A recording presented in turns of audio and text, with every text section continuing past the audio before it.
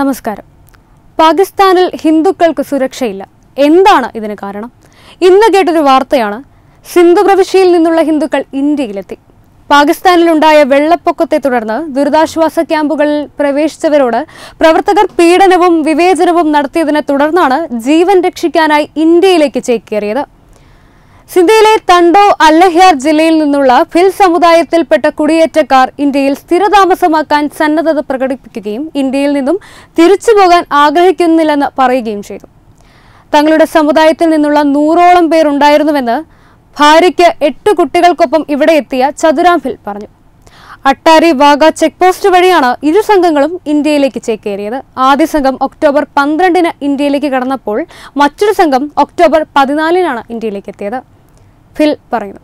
ആദ്യം ഹരിദ്വാറിലെത്തി. അവിടെ നിന്ന് ജോധ്പൂരിലേക്കാണ് യാത്ര ചെയ്തതെന്നും അദ്ദേഹം കൂട്ടിച്ചേർത്തു. അവരിൽ ചിലർ ഇവിടെ സ്ഥിരതാമസമാക്കാനായി ജോധ്പൂരിൽ താമസിക്കുകയാണ് ചെയ്യുന്നത്.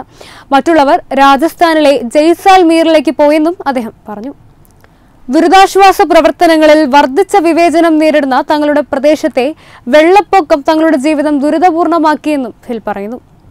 ഞങ്ങൾക്ക് ഞങ്ങളുടെ കുടുംബം പുലർത്താൻ ജോലിയോ ഭക്ഷണം വാങ്ങാൻ പണമോ ഇല്ല. ഞങ്ങളിൽ പലരുടെയും വീടുകൾ വെള്ളപ്പൊക്കത്തിൽ നഷ്ടമായി. ഞങ്ങൾക്ക് താമസിക്കാൻ സ്ഥലമില്ല. അദ്ദേഹം പറയുന്നു.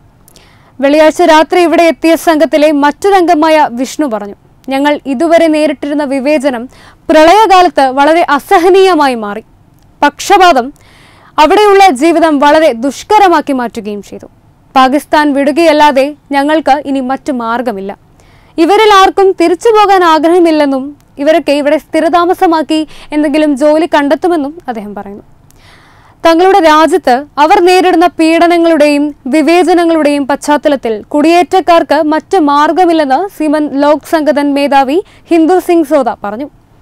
അവർ ഇന്ത്യയെ തങ്ങളുടെ സ്വന്തം ഭവനമായിട്ടാണ് കണക്കാക്കുന്നതെന്നും അദ്ദേഹം കൂട്ടിച്ചേർത്തു. അവർ ഹരിദ്വാറിലേക്ക് തീർത്ഥാടന വിസയിൽ വരുന്നു. അവിടെ അവരുടെ വരവ് ഏജൻസികൾ റിപ്പോർട്ട് ചെയ്യുന്നുമുണ്ട്. തുടർന്ന് അവർ അവസാന ലക്ഷ്യസ്ഥാനത്തേക്ക് പോവുകയുണ്ടായി. അവർക്കിവിടെ സ്ഥിരതാമസമാക്കാൻ വിസയില്ല സിംഗ് പറഞ്ഞു. അതിനിടെ കുടിയേറ്റക്കാരുടെ രേഖകൾ പരിശോധിക്കാൻ പോലീസ് അധികൃതർ സംഘങ്ങളെ അയച്ചു. നിയമാനുസൃതമായതെന്തും ഞങ്ങൾ ചെയ്യും. തിരികെ പോകാൻ അവർ ആഗ്രഹിക്കുന്നില്ലെങ്കിൽ ഇവിടെ തുടരുവാനുള്ള നടപടിക്രമങ്ങൾ നടത്താൻ അവരോട് ആവശ്യപ്പെടുമെന്നും A S P Rameshwar Lal Meghwal പറഞ്ഞു. Web desk. Tatwamayi news. Powered by Dimos furniture ലോകോത്തര ഫർണിച്ചറുകളുടെ വമ്പൻ അൺലോക്ക്